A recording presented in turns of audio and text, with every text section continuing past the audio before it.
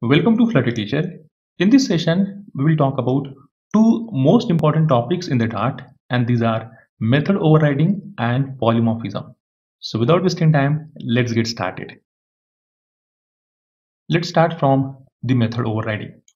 You can observe here in this code, we have two different classes. We have the class called clock and we have the digital clock here. So clock class is acting as a superclass that contains a method run and it is simply printing a message clock is running. Then we have the class called digital clock which is acting as a subclass and that extends the clock as the superclass. And the observable thing is there is nothing inside this digital clock. So as we know that whenever we have a subclass and that extends the superclass, all the members of superclass except the constructor will get inherited in the subclass. It means all the members of this clock class except the constructor will now becomes the members of this digital clock. What is inheritance and why constructor is not inherited? So if you want to get all this detail, go ahead and watch the video where I have talked about inheritance and the 10 different questions related to inheritance. So if you know all these concepts, then uh, you're good to go to continue with this video.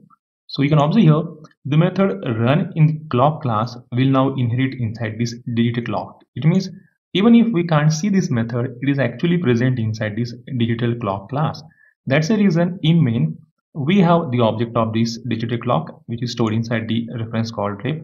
And over ref, when I'm calling this method run, you can observe here the method run, that is the method of this clock class, that is the method of superclass is getting called here because when there is no method or when there is no implementation present in the subclass method by default the superclass method get called and that is what happening here. Now it's possible that the subclass that is this digital clock class can have the same run method as that of its superclass. So i can copy this line and i can paste it inside the digital clock and let me change its implementation. So i have written here digital clock is running. So you can observe here what I have done here, here I have written exactly same method as present in the superclass. It means while writing this run method, we have the same return type, same method name and the same parameter list. So this type of process is known as the method overriding. Let me tell you technically what is the definition of method overriding. Redefining superclass method in subclass is known as the method overriding. It means by default a subclass is getting method from superclass even though a subclass can have its own method or own implementation of the same method which is actually present in a superclass, so you have to make sure that the return type, name of method and parameter list must match with the name or with the method present in the superclass. It means we should have the same signature of method in a subclass as well as in a superclass. So this is called as the method overriding. Now, based on which object you're using to call the method, your appropriate method will be called. You can observe here, let me delete this digital from here. You can see uh, in line number 16, this ref is referring to the object of clock. So when I run it, you can observe on a console, I will get output say the clock is running because I'm using the clock object to call this method. But if I use say object of digital clock and if I rerun this program, you can observe here as we have the object of digital clock I'm getting the output say digital clock is running means when we have a subclass object then the method presenting subclass will be invoked and when we have the object of superclass then the superclass method will be invoked. Now as per Dart recommendation it is recommended that whenever we have the overridden method we should write the annotation called override. So let me write here at the rate and override this override annotation is mostly uh, used or it is recommended so that a programmer should understand that this particular method is not the individual or it is not a new method of the subclass, rather it is the overridden method of the superclass. Now you might have a big question in your mind, why subclass should override a method? It means by default subclass is getting a method, means by default uh, the subclass is getting a method. Then why subclass or why someone should override method in a subclass? So there are two different reasons for overriding a method. Uh, listen to the first reason or the first uh, point here. Consider uh, as per your system Im implementation or there might be a requirement in a subclass that it should have different version of method present in a subclass than the superclass. Means superclass should have a method and that should have some coder that should have some implementation but the subclass must have a different implementation rather than the implementation present in the superclass method. So that based on which object you're using means if you're using the superclass object then your old implementation will be invoked. And if we have the subclass object in this situation your new implementation uh, will be invoked. So uh, you can create two different versions of method and we can have two two different logics or whatever task that you want to do in these two different methods. So this is the first situation now uh, there might be a second situation so uh, consider you want to go with your existing method means uh, you want your existing method. So, but along with this implementation or along with the logic that is present in this uh, superclass method, you want to do some additional things. Means you are happy with this method, there is no problem. You want this implementation, but along with this, the subclass should have some more functionality or some have some additional uh, things, or you might say say enhanced features. So what we can do Inside this run method, I can call the superclass run method here. So let me write here say uh, super dot run. So if you don't know what is the super and what is the meaning of the super dot run, don't worry. Uh, in my upcoming videos, I will talk about this uh, super and uh, what is the use of this super. Basically, now let me run this program here. You can observe here, I'm calling a run method over this uh, digital clock object. So as this digital clock is object of subclass, you can observe here the run method that is the overridden method of this uh, subclass is getting invoked inside this i have called to this uh, super dot run so it will call the run method of superclass. That's why i'm getting output say clock is running. And once it is finished i'm getting output digital clock is running. So here we output called digital clock is running. So technically what is happening here? In this run method i'm reusing uh, the functionality which is i'm getting from the superclass and along with that one i can implement or i can write some additional features or some say new logics inside the run method. So if i want to go with old so i can simply use run. But if i want to go with some old and along with new features i can call the uh, run method of the uh, subclass instead of the superclass method. The old method that is the method present in superclass is known as the overridden method. So let me write here overridden method And the new method that we have defined inside the subclass is known as overriding method. So let me write here overriding method. So I hope it's very much clear for you what is basically method overriding and why to do that one technically. Let's talk about polymorphism.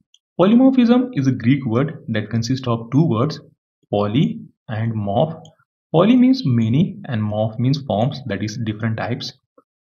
Technically, for object-oriented programming, polymorphism is defined as the ability of an object to appear in multiple forms. It means when we have a, a particular object, then the single object is capable of doing variety of things or various things based on the different input or different parameters or based on the different situation. Let's understand the general example for inheritance. Uh, consider my example here. When I'm recording a video, I'm playing a role of YouTuber. When I'm going in office, I'm talking with the boss, then I'm playing a role of employee. And when I'm going with my friends and I'm talking with them, then I'm playing a role of friend. And when I'm going in a home and I'm talking with my father, then I'm playing a role of a child. So as a person, I will behave differently with my friend and with my father and with my boss in the company. So I won't have a same behavior when I'm talking with my boss and I'm talking with my friend. So I will have a different uh, nature. I will have a different way of uh, myself. Means I will have the different way of speaking with them so based on situation what will happen everybody goes on changing its nature uh, he goes on talking the different things so this particular thing uh, will be done by the object means based on different inputs or based on the different values that object have object will behave differently means the same object will behave differently based on different situation different values or let's say the different parameters that are passed to the object basically there are two different types of polymorphism the compile time polymorphism and the runtime polymorphism the polymorphism which is achieved during compile time means uh, what thing to do, uh, what task to do, it is decided by the compiler during compile time. So that type of polymorphism is called uh, the compile time polymorphism. So if you are a person from C++ or Java, you might have heard that uh, Java uh, supports uh, the method overloading and constructor overloading. That helps it uh, to make it the compile time polymorphism. But as Dart don't have the method overloading and we don't have a constructor overloading basically we can write multiple constructors but uh, we can't overwrite means uh, we can't have uh, same name for constructor. We have to write uh, named constructor. So that's why i can't say that it is the exact example of uh, compile time polymorphism in the dart. But if we have a method having a generic so that method may look or that method uh, little behave like a compile time polymorphism method. But i'm not saying it's actually a compile time polymorphism but uh, those who understand what is this method with generic so uh, it looks like it is having a compile time polymorphism so but i'm sorry if you don't know generic and if you didn't understood this example okay let's ignore it now let's talk about this runtime polymorphism now the polymorphism which is achieved during runtime is known as the runtime polymorphism. It means uh, what things to do, which method to call or what action to perform is not decided by the compiler. Rather, it will be decided during runtime based on uh, the situation or based on the values or based on the uh, parameters that object is having or the value that object is holding. Based on that one, uh, the appropriate action or appropriate method uh, to be executed will be decided. And that is simply known as the runtime polymorphism. Let's understand runtime polymorphism with an example program we have two different classes the clock and the digital clock. That's uh, what we have seen right now in the same video. So the clock class acts as the superclass having a run method that prints clock is running. And the digital clock class has again the same method run which is actually the overridden method and that prints the message digital clock is running. So we have a superclass called clock and we have a subclass called digital clock. And we have implemented a concept called method overriding which we have seen right now now the most important thing in this program is a main method. You can observe in the main, in line number 15, we have a reference area which is referring to the clock object that is object of superclass and we have invoked the method on that reference. Then in line number 18, uh, we have the same reference, but now it is referring to the object of digital clock that is the object of subclass. And again, I have invoked the same method called run on the reference. You can observe here line number 16 and line number 19, they are the same line even when I run this means even this line are same you can observe. I'm not getting the same result I'm getting a different result. So this is basically known as the polymorphism and as this is happening runtime it is the runtime polymorphism. Now let me explain how it is a runtime polymorphism. So as we know when we have overridden method then means when we have a method overriding uh, then which method to call means whether to call method from superclass or subclass it depends on what object you have so you can observe as we have in line number 15, ref is referring to object of superclass. That's why while calling a run method, it is invoking the superclass run method and we are getting output called clock is running. On other hand, in line number 18, the same reference is now referring to the object of superclass. So now at this time when I'm calling run method, it is calling the method of run that is method run of the subclass and not the superclass and hence we are getting the output called digital clock is running. So which method to call is not decided during compile time. Rather it is decided during runtime. So this is called as the runtime polymorphism because uh, the reference can hold a different type of uh, object means as it is uh, the reference it can hold the object of superclass it can even hold the object of subclass but uh, which method to call means which run to call? We can observe here we have the same uh, run in line number 16 and same in line number 19 but which one to call uh, is decided not during compile time it is decided during the uh, runtime that's it for this video. See you guys in the next video